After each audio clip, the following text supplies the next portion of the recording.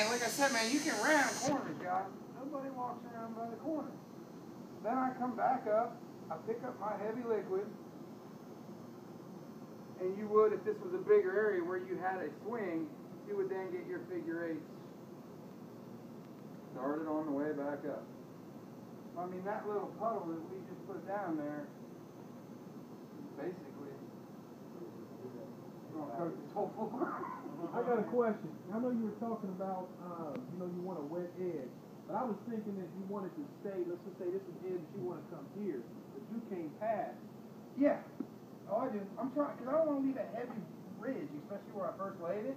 Oh, that heavy ridge will make like a ridge. Okay. And So you guys- got, you'd have almost double. Correct. Okay, okay. And it's hard to show here because it's just such a small swing. I mean, this is this is where you understand where it's easy to mess up the course. and if we did this for real, and this is the size of my job, That's pretty thin. I'm hanging out for 45 minutes. That's pretty thin. Yeah. Now we let paint dry.